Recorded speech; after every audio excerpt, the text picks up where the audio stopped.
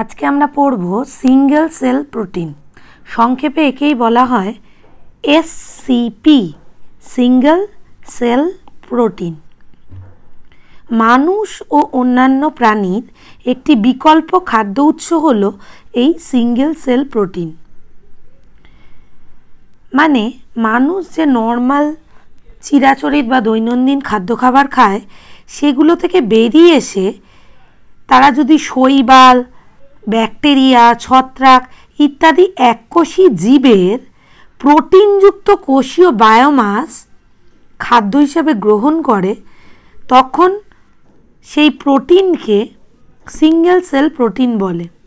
এগুলো কিন্তু মানুষ এবং অন্যান্য পশু পাখির বিকল্প খাদ্য উৎস হিসাবে ব্যবহৃত হয়। প্রধানত মাইক্রো অর্গানিজম বা অণুজীব গোষ্ঠীর শৈবাল, ব্যাকটেরিয়া এবং ছত্রাক অত্যাধিক বৃদ্ধির ফলে এককোষী প্রোটিন বা এই সিঙ্গেল সেল প্রোটিন নামক বিশেষ প্রোটিন বস্তুটি পাওয়া যায়। অর্থাৎ এই সিঙ্গেল সেল প্রোটিনটা আমরা মেনলি পেয়ে থাকি মাইক্রোস্কোপিক শৈবাল, ব্যাকটেরিয়া এবং ছত্রাক থেকে। তাহলে ভালোভাবে বললে বলা যায় যে ব্যাকটেরিয়া, শৈবাল ছায়ানো ব্যাকটেরিয়াও বলতে পারো, ছত্রাক, এদের বিভিন্ন কালচার থেকে বা বিভিন্ন কালচার মিডিয়াম থেকে এদের নিষ্কাশিত করে যে প্রোটিনটা পাবো, সেই প্রোটিনটা যদি পশু এবং মানুষ সাপ্লিমেন্টারি ফুড হিসাবে ব্যবহার করে, তখন ওই প্রোটিন যুক্ত ওই খাদ্যটাকে এককোষী প্রোটিন বা সিঙ্গেল সেল প্রোটিন বলে। ঠিক আছে? তাহলে এটা বলা চলে alternative source of protein for animal and human nutrition এটা এই সিঙ্গেল সেল প্রোটিনটা একটা অল্টারনেটিভ সোর্স অফ প্রোটিন মানে চিরাচরিত খাদ্য খাবার যা কোনো অ্যানিমেল বা মানুষ খায়, তার থেকে বেরিয়ে এসে বা সেগুলো বাদ দিয়ে আরও কিছুগুলো আরও কিছু প্রোটিনের সন্ধান মানুষ পেয়েছে যেগুলোকে পরিবর্তিত খাদ্য হিসাবে ব্যবহার করা যায় বা অল্টারনেটিভ সোর্স হিসাবে ব্যবহার করা যায়। Microbes as source of good protein এই যে বারবার বলছি যে ব্যাকটেরিয়া, শৈবাল, ছত্রাক, এই মাইক্রোবসগুলোকে as a source of good protein হিসাবে দেখা হয়।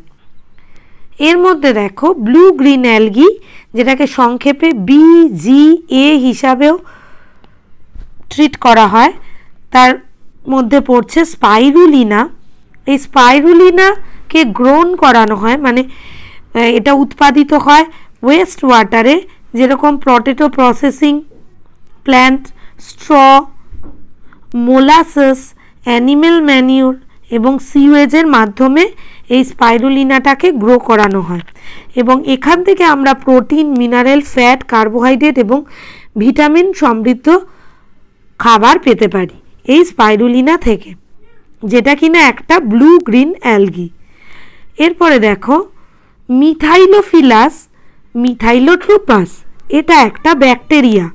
এটা হলো, এটা থেকে হাই রেট অফ বায়োমাস মানে প্রচুর পরিমাণে প্রোটিন পাওয়া যায়। এছাড়া জানো তোমরা, আমরা সবাই এখন কম বেশি মাশরুম খেয়ে থাকি এডেবল মাশরুমও একটা গুড সোর্স অফ প্রোটিন ঠিক আছে? এগুলো সবই যাচ্ছে সিঙ্গেল সেল প্রোটিনের মধ্যে এবং এগুলো হলো এক কোষী প্রোটিন এগুলোকে অল্টারনেটিভ সোর্স অফ ফুড হিসাবে ইউজ করা হয়। ঠিক আছে? প্রোটিন জাতীয় খাদ্যের অভাবজনিত রোগগুলোর ক্ষেত্রেও মানে যেগুলো প্রোটিন জাতীয় খাদ্যের অভাবে হয়, সেক্ষেত্রেও এই এসপিএস প্রয়োগ করলে বা এসপিএস জাতীয় বা সিঙ্গেল সেল প্রোটিন জাতীয় খাদ্য খাবার খেলে তারা সহজেই রোগ নিরাময় হতে পারে। ঠিক আছে? যে রোগগুলো মেনলি প্রোটিন জাতীয় খাদ্য অভাবে হয়, সেগুলো এসপিএস জাতীয় খাদ্য খাবার খেলে দূরীভূত হয়। এখানে বিভিন্ন প্রকার সিঙ্গেল সেল প্রোটিন জাতীয় খাবারের ছবি তোমাদের দেখাচ্ছি। যারা আর কি ভেজিটেরিয়ান তারা কিন্তু অল্টারনেটিভ খাদ্য হিসাবে এই এসপিএসকে ব্যবহার করতে পারে। ঠিক আছে? এতে প্রচুর পরিমাণ ভিটামিনও থাকে এবং কম বেশি ফ্যাটও থাকে। তাই ডায়াবেটিস এবং উচ্চ চাপযুক্ত রোগীর ক্ষেত্রেও বা রোগীরাও এই এসপিএস ব্যবহার করতে পারেন। এসপিএস খুব তাড়াতাড়ি উৎপাদিত হয়। ঠিক আছে? এবং কৃত্রিম পরিবেশে চাষ করা হয় বলে এর উৎপাদন বিভিন্ন ঋতুর উপর নির্ভরশীল নয়। কারণ এটা আর্টিফিশিয়ালি চাষ করা হচ্ছে।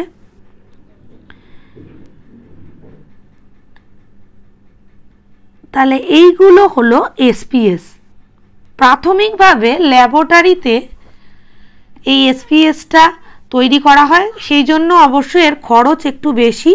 এসপিএস উৎপাদনের জন্য বিশেষভাবে প্রশিক্ষণরত কর্মীর প্রয়োজন হয় যারা ল্যাবরেটরিতে এই এসপিএসটা উৎপাদন করে। রোগ সংক্রমণকারী অণুজীবের উপস্থিতি আছে কি না তা পরীক্ষা করা প্রয়োজন এই এসপিএস জাতীয় খাবারের ক্ষেত্রে। সাধারণত প্রোটিনধর্মী খাদ্যের চেয়েও ব্যয় সাপেক্ষ। নর্মালি যে আমরা মাছ, মাংস, দুধ, ডিমকে প্রোটিন জাতীয় খাবার হিসাবে ব্যবহার করি, তার থেকে কিন্তু এর খরচ অনেক বেশি, উৎপাদন খরচ অনেক বেশি। কিন্তু এটাকে অল্টারনেটিভ সোর্স হিসাবে ব্যবহার করা যায় অ্যাজ এ প্রোটিন জাতীয় খাদ্য হিসাবে। এই মাইক্রোবসগুলোকে এই অণুজীবগুলোকে ঠিক আছে? মেন বিভিন্ন প্রকার অণুজীব এখানে ইউজ হয়। ব্যাকটেরিয়া, ছত্রাক, ইস্ট, শৈবাল, বিভিন্ন প্রকার অনুজীবী এখানে ইউজ হয়। স্যাকারোমাইসিস, সেরিভেসি, ইস্টের মধ্যে, শৈবালের মধ্যে ক্লোরেল্লা স্পাইরুলিনা, ছত্রাকের মধ্যে অ্যাসপারজিলাস, ব্যাকটেরিয়ার মধ্যে ব্যাসিলাস, মেগা, মেগাটেরিয়াম, ব্যাসিলাপ, সাপটিলিস, এইগুলোকে ইউজ করা হয়। মানে এই ম্যাক্সিমাম ক্ষেত্রে এরা দেখতে পাচ্ছি যে এগুলো মাইক্রোস্কোপিক অর্গানিজম অর্থাৎ অণুজীব। এবং এটা একটা অল্টারনেটিভ সোর্স হিসাবে ইউজ হয় যেটা কিনা প্রোটিনের চাহিদা পূর্ণ করে। চিরাচরিত যে প্রোটিন জাতীয় খাবার আছে, তাদের থেকে কিছু আলাদা খাদ্য যেটা কিনা প্রোটিনের সাবস্টিটিউট হিসাবে আমরা ইউজ করতে পারি। এবং ম্যাক্সিমাম ক্ষেত্রে মাইক্রো অর্গানিজম থেকেই এই প্রোটিন নিষ্কাশন করা হয় এবং সেই জন্য নাম হয়েছে single cell protein. The advantage of SPSR. এসপিএসের কি অ্যাডভান্টেজ দেখো? High quality protein and less fat content. এসপিএসের মধ্যে সাধারণত হাই কোয়ালিটি প্রোটিন থাকে এবং ফ্যাট কন্টেন্ট তুলনামূলকভাবে কম থাকে। Reduce pressure on agricultural production system এই এসপিএস প্রোটিনের অল্টারনেটিভ সোর্স হিসাবে ইউজ হলে এগ্রিকালচারে যে প্রোটিনের উৎপাদন, সেটা কম হলেও চলে। সেজন্য এগ্রিকালচারে প্রোটিন উৎপাদনের প্রেশারটা কম থাকে। কারণ সাবস্টিটিউট প্রোটিন হিসাবে আমরা এসপিএসকে পাচ্ছি। মিনিমাইজেস এনভায়রনমেন্টাল পলিউশন এসপিএস উৎপাদনের ক্ষেত্রে এনভায়রনমেন্টাল পলিউশন কম হয়।